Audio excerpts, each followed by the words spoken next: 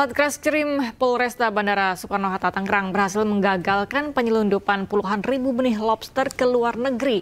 Total harga benih, benih lobster mencapai 3, miliar rupiah.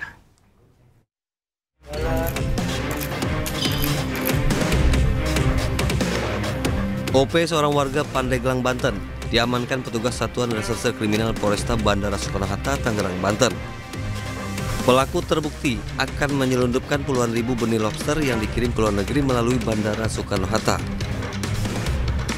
Pengungkapan bermula setelah adanya laporan masyarakat bahwa akan ada pengiriman benih lobster secara ilegal.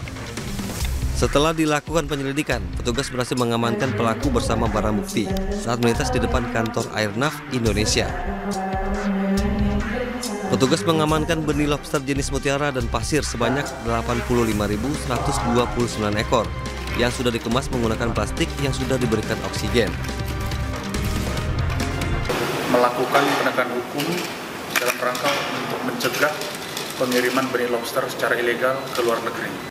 Kemudian yang kedua, tentu yang menjadi alasan atau pertimbangan e, masih banyak e, masyarakat atau orang-orang yang e, melakukan upaya-upaya penyelundupan adalah pertama karena faktor ekonomi.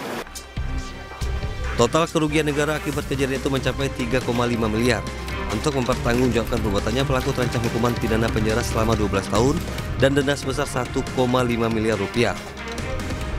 Sementara itu, untuk menjaga ekosistem laut, seluruh benih lobster akan kembali dilepas liarkan di perairan Pantai Cerita Serang, Banten.